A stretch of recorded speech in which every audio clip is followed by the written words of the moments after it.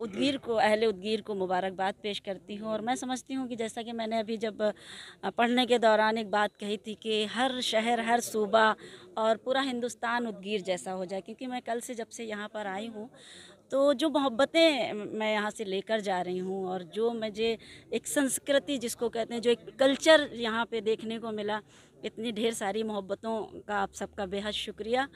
क्योंकि यहाँ पर अहमद साहब से जब एक बात पता चली कि जब हमारे यहाँ कोई नफ़रतों की बात करता है तो हम उस पर मोहब्बतों के फूल निछावर करते हैं, हम उस पर फूल बिछाते हैं। तो काश ये सोच हर हिंदुस्तानी की हो जाए, चाहे वो हिंदू हो या मुसलमान हो, किसी भी फ़िरक़े का हो। अगर हम अपनी सोच को ऐसा बनाएँगे तो मैं समझती हूँ कभी कभी जो गलत फहमियाँ हमारे बीच में पैदा होती रहती हैं, ये कतई नहीं होंगी। और ये हम सब की ज़िम्मेदारी बनती है कि अगर हमारे सूबे का या हमारे पड़ोसी की कभी कोई गलत फहमी ऐसी हो गई है तो हमें अपनी मोहब्बतों से उसको कैसे दूर करना है? क्योंकि हर मसले का हल सिर्फ़ और सिर्फ़ अखलाक है। और अखलाक जो है, वो हमारा इस्लाम भी हमें यही दर्श देता है, यही पैगाम देता है कि हम अखलाक से पूरी दुनिया को जीतें।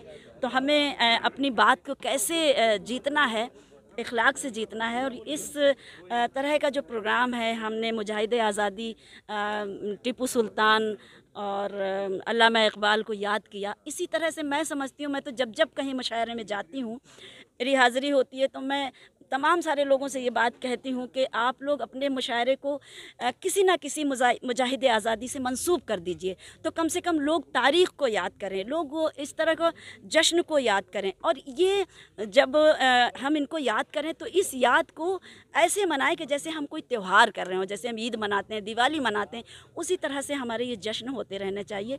क्योंकि जब ये चीज़ें, ये सिलसिला ऐसे ही चलता रहेगा तो एक अच्छा सा, खुशगवार, खूबसूरत सा माहौल बनेगा।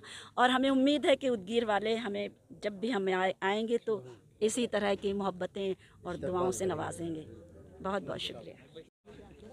और ये सदा फाउंडेशन के इस मुशायरे में आकर बहुत खुशी हुई। मुझे नहीं मालूम था कि इस शहर में इतने अदबी लोग होंगे और इतने ज़ौक शौक़ से अदब सुनते हैं मुशायरा सुनते हैं शायरी सुनते हैं। यहाँ तो ऐसा लग रहा था जैसे सब के सब सीखे सिखाए हैं और यहाँ पर अदब बहुत पनपता है।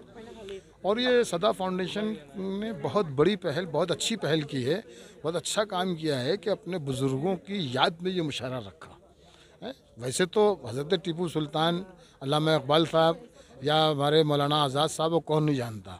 लेकिन फिर भी धीरे धीरे नई नस्ल जो है, उनके कारनामों से वाकिफ़ नहीं हो रही है और भूलती जा रही है। तो ये एक ये एक पहल, बहुत अच्छी पहल है और मैं तो ये दुआ करूँगा कि इस, इससे लोग रोशनी लें, इससे लोग दर्श लें और पूरे हिंदुस्तान में इसी तरीके से अपने बुज़ुर्गों की यादों को ताज़ा करें और ताकि नई नस्ल को मालूम हो सके कि हमारे बुज़ुर्गों ने क्या कारनामे अंजाम दिए उसमें कोई भी ये ये तफरीक नहीं होनी चाहिए कि मुसलमान हों या हिंदू हों उसमें कोई भी, जितने भी हमारे मुजाहिदीन आज़ादी हैं सबने मिलकर हमें आज़ादी दिलवाई है तो कम से कम हमें सबका ख्याल, सबके, सबको याद करना चाहिए और एक जश्न के तरीके से मनाना चाहिए।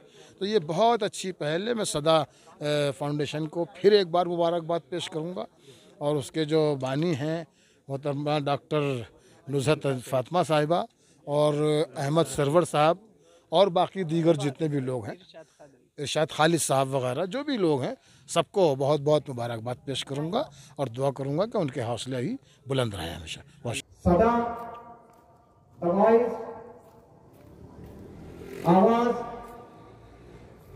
वो आवाज़ जो दिल से निकलती है, वो चीख जिसमें दर्द होता है, वो आवाज़ जिसमें पुकार होती है, वो आवाज़ जो अल्लामा इकबाल साहब ने कौमी और समाजी बेदारी के लिए लगाई थी, वो आवाज़ अंग्रेज़ों के खिलाफ में खिलाफ में हज़रत टीपू सुल्तान रहमतुल्लाह ने लगाई थी और वो आवाज़ जो मस्जिद जामा से मौलाना अब्दुल कलाम आज़ाद ने पाकिस्तान के अलग टुकड़े होने पर मुसलमानों को भारत अपना मुल्क है और आप यहाँ के बाशिंदे हैं। इतनी भारत जैसी खूबसूरती आपको और कहीं नहीं मिलेगी। वो रुकने के लिए जो लगाई थी, वो आवाज़, उन सारी आवाजों को इकट्ठा करके आज उर्दू दिवस के मौके पर इंटरनेशनल उर्दू डे के मौके पर, इकबाल डे के मौके पर मैं आप सभी लोगों को मुबारकबाद देता हूँ। आप लोगों ने इस प्रोग्राम को कामयाब बनाने के लिए जिन जिन लोगों ने मेहनत की है मैं उनको भी मुबारकबाद देता हूँ। पहला मौका है आइंदा साल, इंशाल्लाह और भरपूर तैयारी के साथ ये प्रोग्राम यहाँ पर लिया जाएगा। आने वाले सभी हजरात का मैं खैर मकदम करता हूँ। यहाँ दूर दराज से सफ़र करके आए हुए सोलह हजरात का खैर मकदम करता हूँ। बड़े मसरूफियत के बाद आए हुए हमारे अधिकारियों का मैं यहाँ पर खैर मकदम करता हूँ। और आपकी दूरी को खत्म करते हुए मेरी बात को खत्म करता हूँ। जजाकल्लाह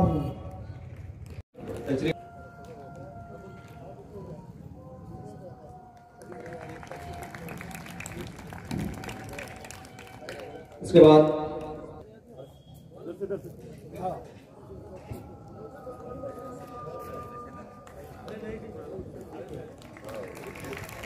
रमेश अन्ना अंबर खान हमारे दरमियान में है। उनको शॉल और गुल पेश करेंगे। जमूर हाई स्कूल जूनियर कॉलेज के प्रिंसिपल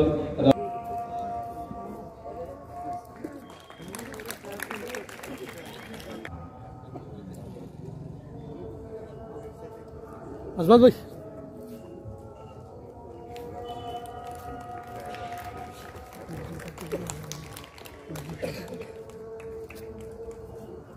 हमारे दरमियान मैं मनोरंजन